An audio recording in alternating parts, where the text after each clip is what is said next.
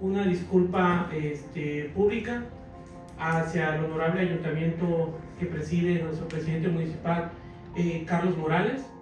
Sí tenía razón, el ayuntamiento de la capital de Chiapas, cuando comunicó que el concierto del cantante Alfredo Olivas, que se realizará el día 25 de noviembre del presente año en las instalaciones del Foro Chiapas, no contaba con los permisos necesarios.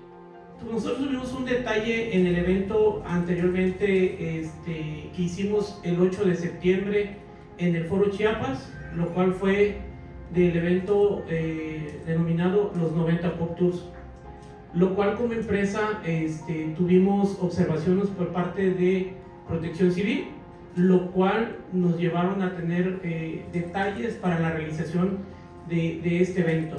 Quiero recalcar que el ayuntamiento nunca se negó a, a, la, a, la, realización de este evento. Pero ya se arregló. El ayuntamiento estaba salvaguardando la integridad de todas las personas que llegarán al concierto de Alfredo Olivas y Producciones Loes se tuvo que aplicar. El presidente municipal Carlos Morales nos dio la atención, eh, eh, nos cuidó mucho, quería que cumpliéramos en todas la, la, las normativas que exigen eh, las áreas que, que, tienen en el ayuntamiento, como es la Secretaría General del Ayuntamiento, eh, la Dirección de Gobierno y los de Protección Civil Municipal.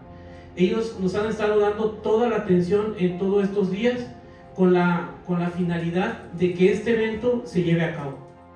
Y tras hacer sold out para la fecha que sí va a realizarse, se prevé que el cantante disponga una más. Lo que sí les quiero decir es que el evento de Alfredo Olivas en la fecha del 25 de noviembre, señores, no se cancela.